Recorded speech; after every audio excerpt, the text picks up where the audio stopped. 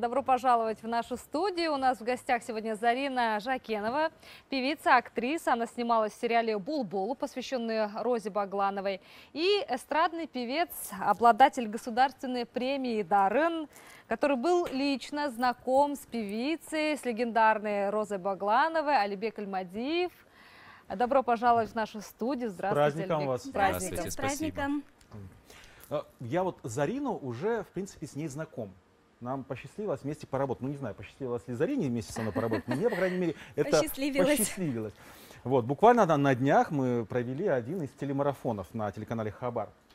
А, Зарин, а, я знаю, что мы с тобой разговаривали уже об этом, про Розу Багланову и как ты вживалась в роль. Вот можно было сейчас вот по- поподробнее рассказать, а, как готовилась, а, а, как это происходило все? Э, Ну, готовилась э, я не так долго, потому что времени было мало, всего лишь месяц. Э, Изучала все ее архивные видео, э, все ее песни, манеру исполнения. Э, Ну, потом вот нужно было э, ходить, как она, изучить ее походку, ее э, какие-то повадки, м, привычки и впитать это все в себя. Мгм. То есть Вот. в сжатые сроки ну, получилось осущ- осуществить? Э, Ну, думаю, что получилось. Зри- зрителям вроде бы понравилось. Вроде бы. Конечно, понравилось.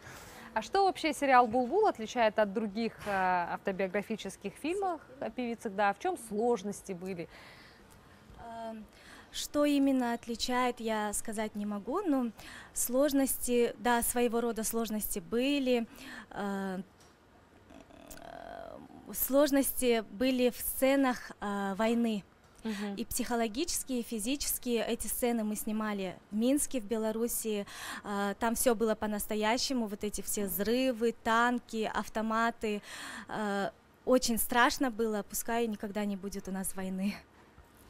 Поддерживаю. Действительно, да, пусть будет мирным небо над нашими головами.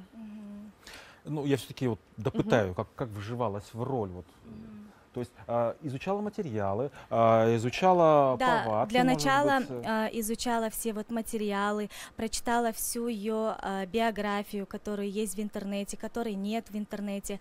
Потом у нее есть книга Айналайн халкымның еркелеткен. Вот эту всю книгу прочитала. Вот Это тут сейчас еще за как Мгм. раз за время эфира, когда мы здесь Ага. еще стояли, э, сидели, разговаривали, а, упомянула о том, что на съемочную площадку привозили ее вещи. да, То есть э, при- приходилось играть еще в ее вещах. Да, очень интересный момент был. А, Нас три героини играли. Роза Багланова, то есть взрослая, а, я и маленькая девочка. Мгм. А, Как-то на площадку привезли все ее настоящие вещи, которые она носила при жизни, ее костюмы некоторые и туфли. Много очень туфлей, все такие модные, разные. И э, продюсер говорит, ну, туфли, наверное, никому не подойдут, потому что все знают, что она носила 33-34 размер Миниатюрный обуви. размер. И Зарина, у тебя какой размер? Я говорю, у меня 34. Да вы что, померь ее туфли, я мерю ее всю обувь, все мне подошло. Э, съемочная группа немножко в шоке. Как так, как мы вообще э, угадали так с героиней, где, э, Да, это смеются. какой-то Это знак, видимо, судьба. да, судьба, да, действительно. Роза Багланова была, вот, по, судя по нарядам, по туфлям, э, модницей была, можно говорить? Она была очень модная. Некоторые, некоторую обувь она специально шила для себя на заказ. Но она часто была на гастролях э, за рубежом, и у нее много вот еще в то время у нее перчатки, по-моему, Луи Виттон там были, э, Мгм. Шанель костюмы были у нее. Она очень была модница, со вкусом всегда одевалась.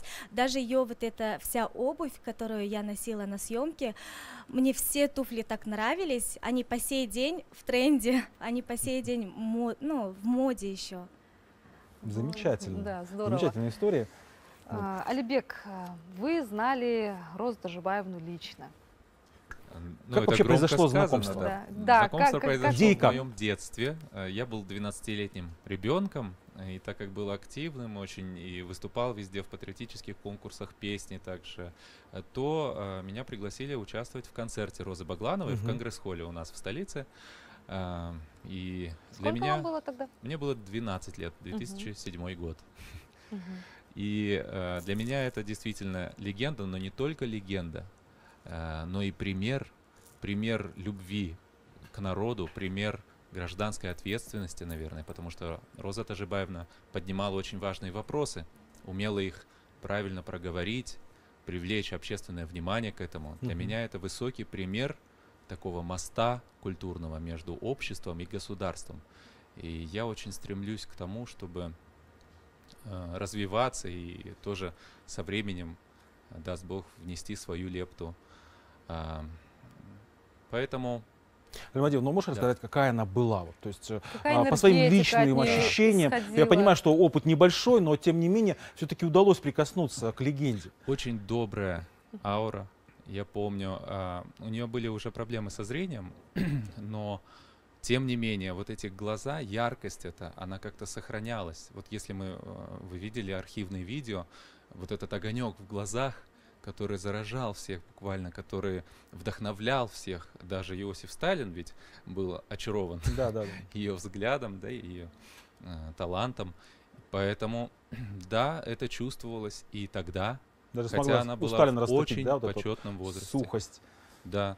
А, и она очень много говорила на том концерте. Она Мгм. говорила, я даже помню за кулисами а, бегали, возмущались там режиссеры, ну это же работа такая, что вот уже, уже нужен дедлайн, да, нужно уже следующую песню петь. Но она очень любила общаться с народом. И она всегда говорила, что вот э, главное, чтобы народ был а, мой э, спокоен. А, то есть это такой человек э, высокой нравственности, высокой культуры, не только исполнительской культуры, но и нравственной, духовной культуры.